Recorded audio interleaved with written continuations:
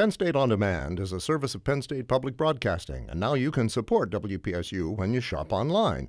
Visit wpsu.org/shop to make purchases from national online retailers, and WPSU will receive a portion of the sale with no extra cost to you. So start your online shopping at wpsu.org/shop. I do some consulting work on the American feeling in the room was You don't ever say to her that What about the Chautauqua Institute? introductory discussion on the ethical We aspect left. more of a community. Before China took back over. currently doing in autism. Best-selling author Lisa Genova calls herself a Harvard-trained neuroscientist, a Meisner-trained actress, and an entirely untrained writer. Her debut novel, Still Alice, describes one woman's journey through early-onset Alzheimer's disease. The New York Times hailed the book as insightful, inspirational, and heartbreakingly real. Her latest novel, Left Neglected, deals with a woman recovering from severe brain trauma. Genova graduated valedictorian from Bates College with a degree in biopsychology and has a PhD in neuroscience from Harvard University. We'll talk with her about how her background in neuroscience helped shape her narratives, her personal experiences with Alzheimer's, and her upcoming novel, Love Anthony. Here's our conversation with Lisa Genova. Lisa Genova, welcome to the conversation. Hi, thanks for having me.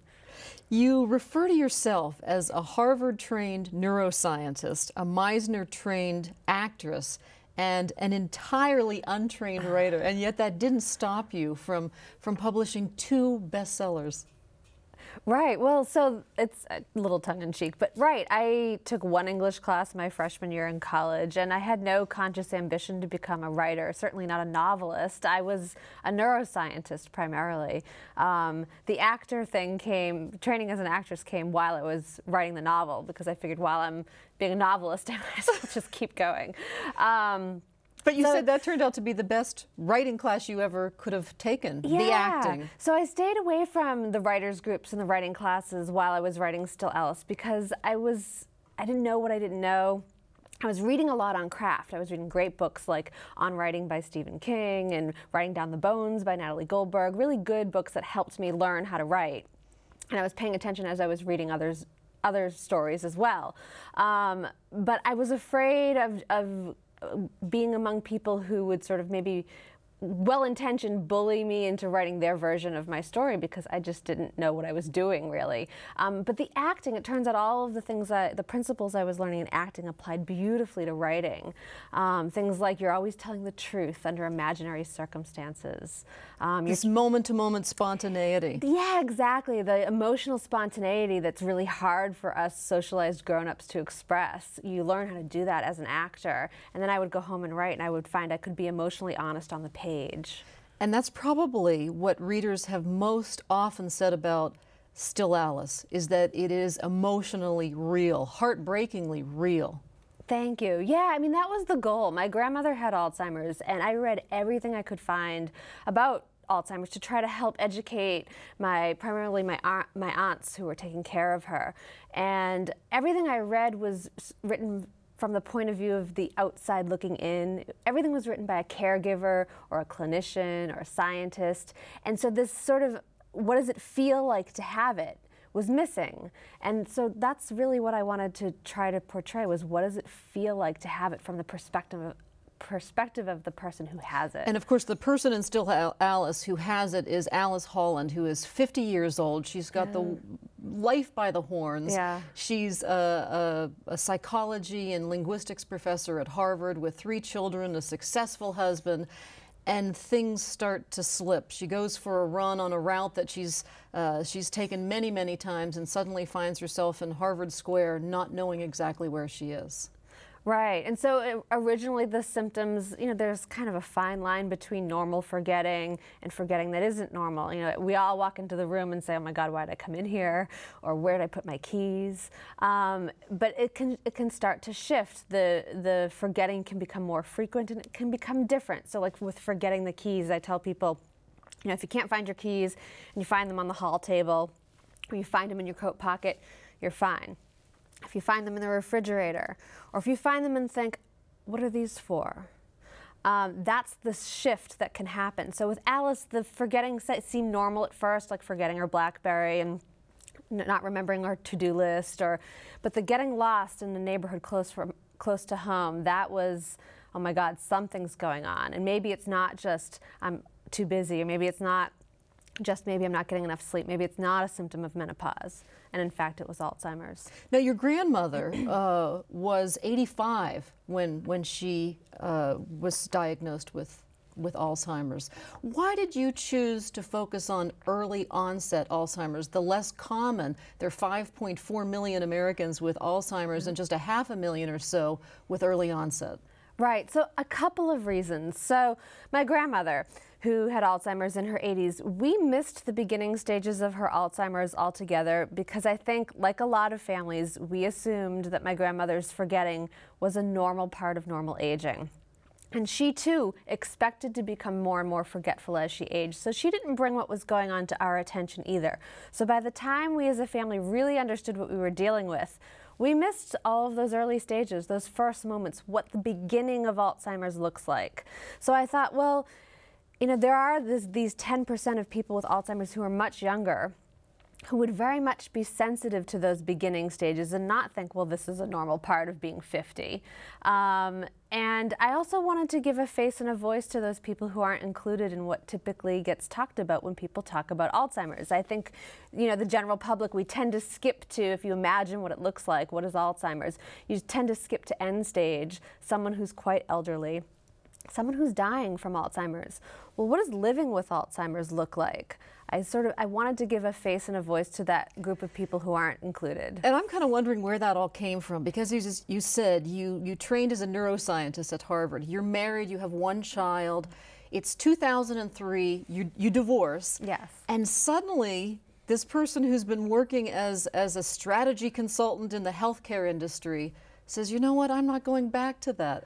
I'm going to do something completely different. I've taken one writing class, as you said, and I want to be a writer. I mean, I, I kind of think, where does that come from? Yeah. Oh, well, I hadn't even taken a writing class. I'd taken an English in class. School. I mean, like back college, when I was rather, 18. Right? Um, it was, you know, I actually, part of it was the divorce. It was um, so life changing for me, so unexpected, so heartbreaking. Um, and it really did sort of shake everything up. And I started asking myself some questions like, okay, you know, what do I want my life to look like now? And I had planned to go back to that job as a strategy consultant. I was divorced single mom. Like that was the responsible thing to do and I was good at it and paid well and that's where I should have gone. And that was the plan. But then the questions kept coming and it was like, well, hold on a second. Why do I have to go back to that to my job that I had before my daughter was born? If I could do anything I wanted, what would that be? My answer, which was really exciting and really terrifying, was write the novel. Um, so I did. I dropped my daughter off at preschool, and instead of going to my responsible job, I went to the Starbucks near my house and began writing Still Alice. And so, how did you support yourself in that period? Because it was actually 2003 you started this. It took you a year and a half to write it, yeah. and it wasn't self-published until 2007. Yeah. Well, so in the beginning, it was in the divorce. We split up assets, and I had a nest egg, and I knew I could live for a while and comfortably, and it would be okay. I wasn't saving any money, but it, you know, we weren't going to be out on the street. Um, and then a few things happened. I started dating again, and I got remarried, and we moved to Cape Cod, and um, by the time I moved there, I, I, I self-published the book um, shortly after that. Which is an interesting story too. So you take this book that you've written uh, out of some passion that came from you know deep within, and you can't find a publisher. You send a, a, hundred letters or more to literary agents, and, and what do they say to you? Yeah, so it's funny. I'm still finding the rejection letters. Um, so I did what you're supposed to do. You're supposed to send out query letters to literary agents, and I got the big Bible of a book, the Literary Marketplace, that lists all of these agents. And I did. I sent out a 100 query letters, and um, I I'm still waiting to hear back from some of them. um, I mostly heard back no in the form of a, a, standard form rejection letter. Dear author, no thank you. And those are the little slips of paper I'm still finding tucked away in books today in my office, or I'll go to clean out a folder, and I've got I found 19 of them a few weeks ago, and I thought I had thrown them all away years ago.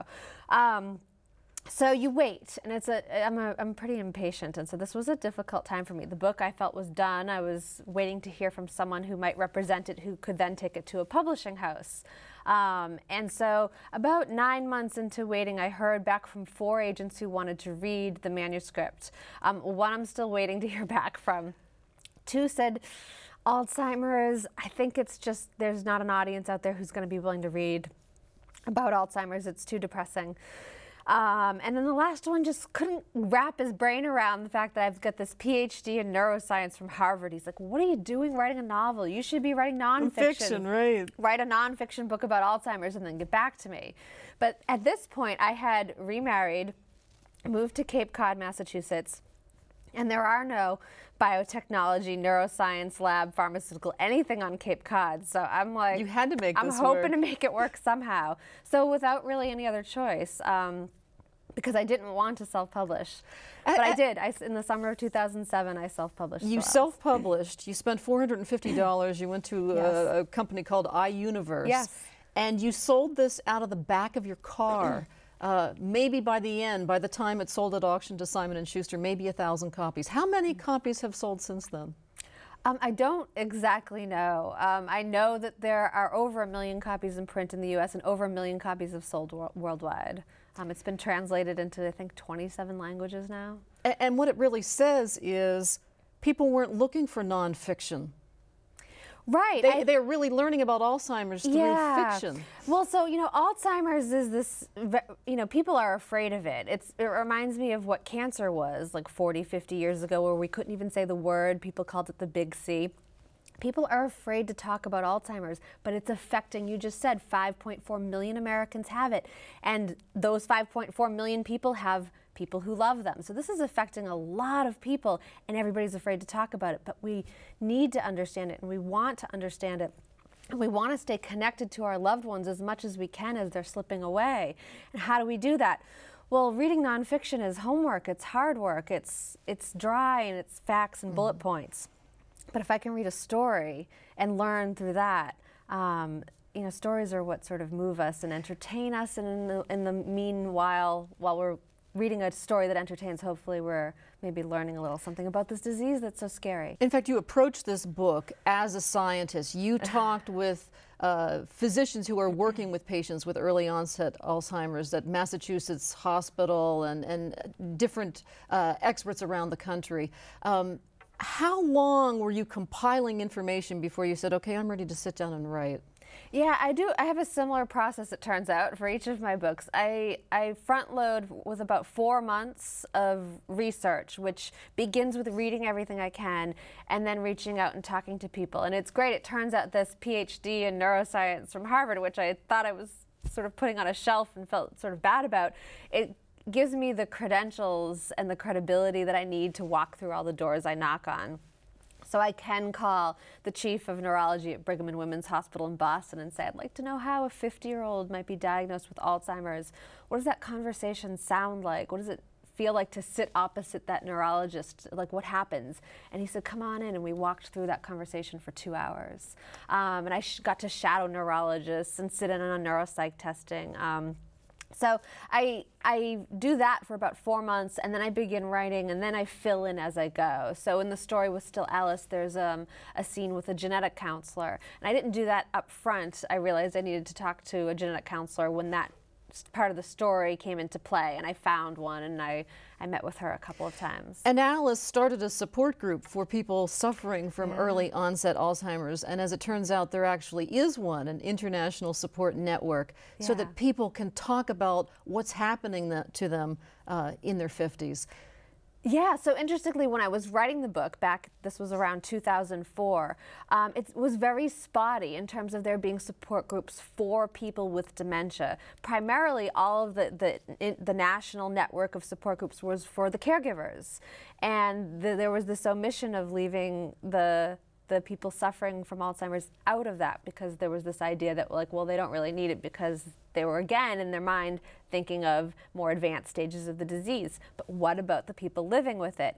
And along with the publication of Still Alice and I think in part the book has helped facilitate this we're seeing more and more in every state support groups for people with dementia people in the earlier stages of Alzheimer's who can still you know, get together and chat about what it feels like to have it. It's interesting how you told the story because it was it started in 2003 and month by month for 2 years we watched how this disease progressed and how it changed Alice's life. Um, is that accurate? And the reason I ask that is we often think of Alzheimer's as the long goodbye.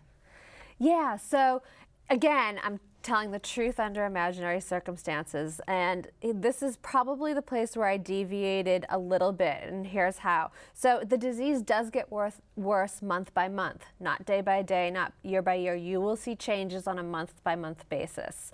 Um, but it, the disease can progress anywhere from two to 20 years.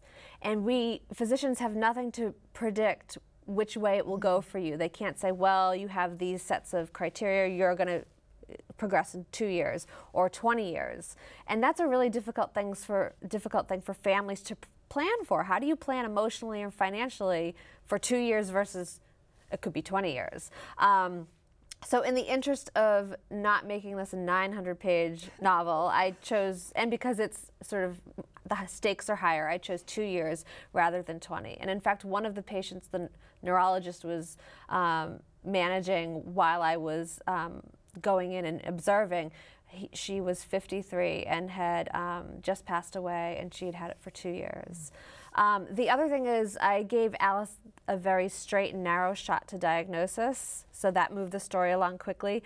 That's the, probably the biggest place where I deviated from truth most people who are under the age of 65 who are diagnosed with Alzheimer's do not find a straight and narrow shot to diagnosis. They spend months and even years thinking, well, maybe it's depression or maybe it's menopause or maybe I'm going crazy and I'm just not going to go to the doctor and I'm going to, you know, live in denial um, because it's not really on people's radar. And of course, no one wants it to be Alzheimer's. So it's usually a pretty um, convoluted path to diagnosis, especially in the younger folks.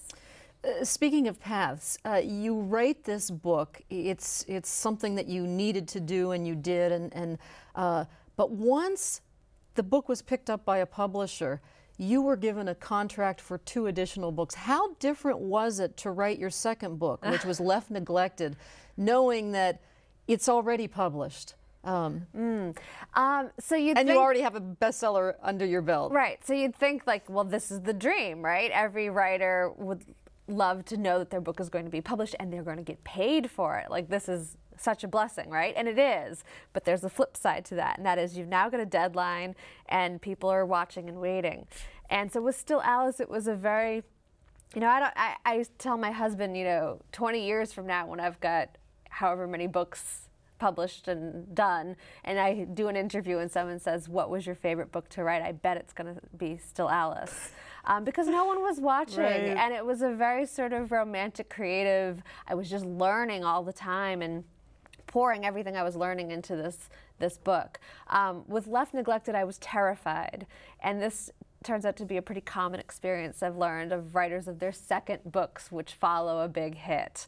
And um, it was a, um, it was an equally big hit, really. Yeah, so I was I was really quite scared while I was writing it. Like, what if it's terrible? What if I can only write about Alzheimer's? Um, what if I can't finish it on time? And I was also pregnant with my third child while I was writing it, and I'm not a graceful pregnant woman.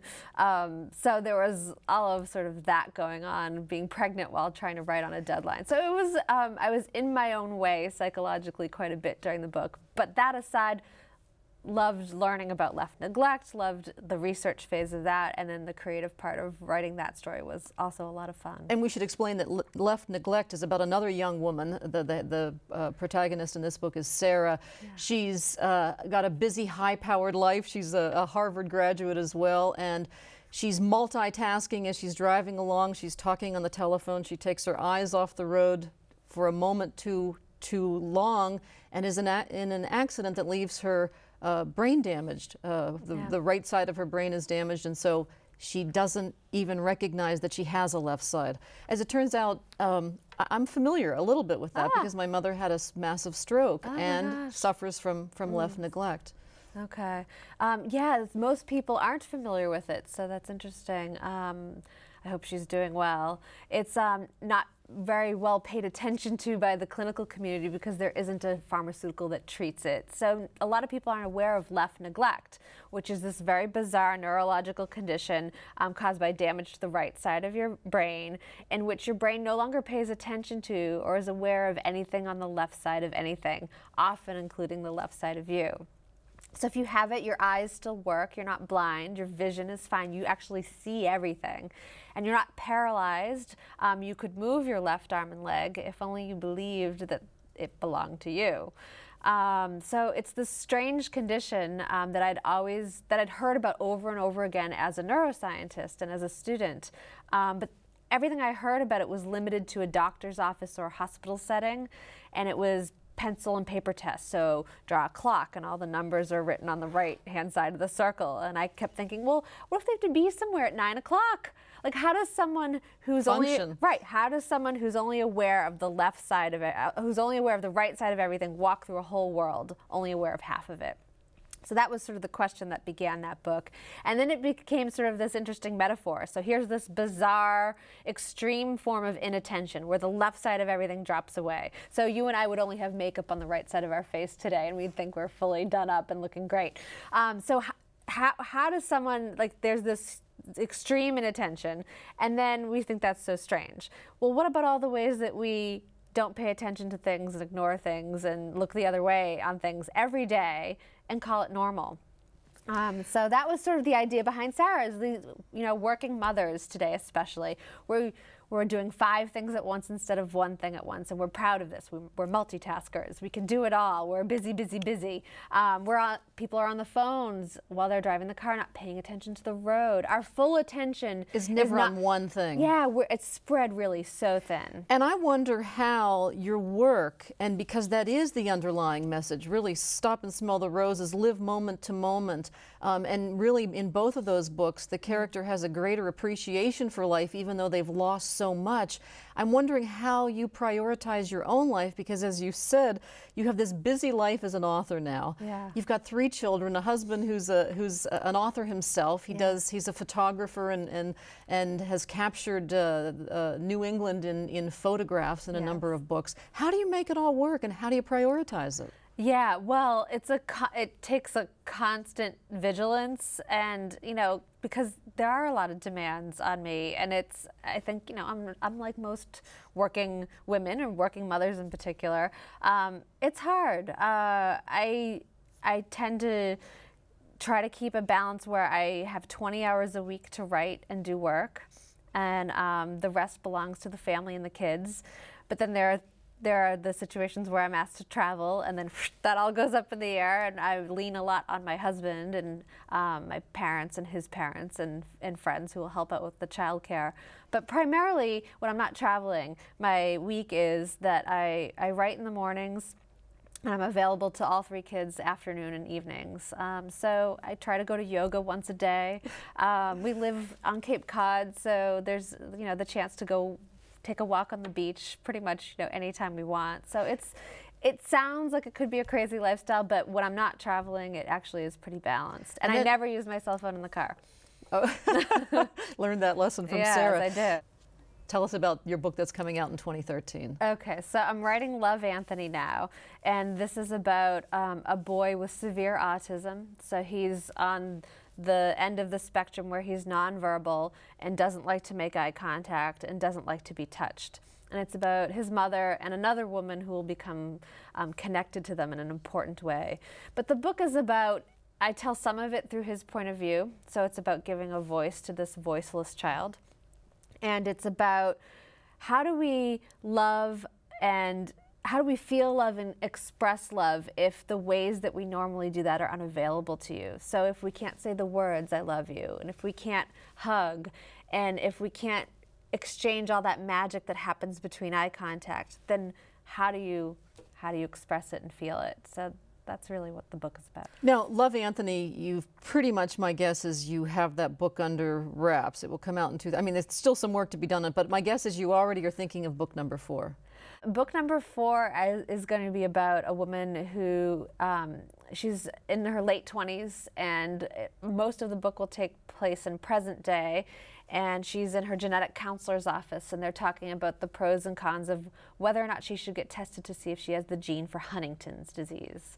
Um, her mother has it, and she, it's Huntington's disease is purely genetic. So if your parent has it, you have a 50% chance of having the gene that will cause the disease. Um, you don't become symptomatic for Huntington's until you're in your 30s, usually after you've already had children and unwittingly passed it down. So most of the book is this conversation between her and a counselor but what it would mean. She's in a relationship. Should she get married? Should she have kids? Um, what will it do to her relationship with her sister, who doesn't want to know anything at all and is in denial about all of it? Um, it's about her caring for her mother who's got this. But interspersed in between each of those chapters is going to be a chapter about one of her ancestors um, who had Huntington's. Mm. And so one of them will be a great great grandmother who was tried and hung as a witch in Salem. Oh. Because they thought she was possessed by demons, but she had Huntington's. But she had already, and she leaves behind mm. three orphans. Um, and and so it goes. And so you'll sort of see this sort of family tree and the and the gene chasing her through history. And you've really found a niche, kind of following in the footsteps of Oliver Sacks. Ah, thank you. Yeah, he's uh, The Man Who Mistook His Wife for a Hat by Oliver Sacks is the, the book that really ignited my passion for neuroscience to begin with. So thank you for that. that All right, and thank you so much for talking with us. Thank you. I hope you enjoyed our conversation with Lisa Genova. Comcast subscribers can watch this program anytime on Penn State On Demand. Find out how through our website, conversations.psu.edu, where you'll also find excerpts of Still Alice and Left Neglected. I'm Patty Satalia. We hope you'll join us for our next Conversation from Penn State. If you've enjoyed Conversations from Penn State and would like to purchase a DVD of this show or any of our other episodes, you can place an order online by visiting us at mediasales.psu.edu or by calling 1 800 770 2111. Production funding provided in part by the Corporation for Public Broadcasting and by viewers like you. Thank you. This has been a production of WPSU.